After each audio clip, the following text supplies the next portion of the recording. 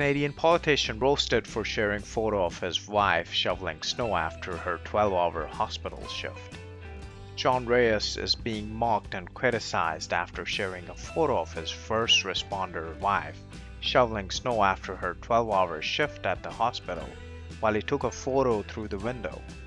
He's the Minister of Economic Development and Jobs in Manitoba and a member of the province's Progressive Conservative Party. He snapped a picture of her through the window and wrote that he was going to make her breakfast. But while Reyes seemed to intend the tweet to show odd praise of his nurse wife's stamina, tens of thousands of Twitter users have had other ideas and are calling him out for being lazy and the worst husband for not shoveling himself, or at least hiring someone to do it.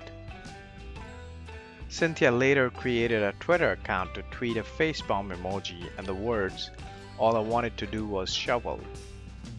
Cynthia is a registered nurse at Health Sciences Center. She had just arrived home from a lengthy hospital shift in the midst of a pandemic when she encountered the unshoveled driveway and took it upon herself to clear it.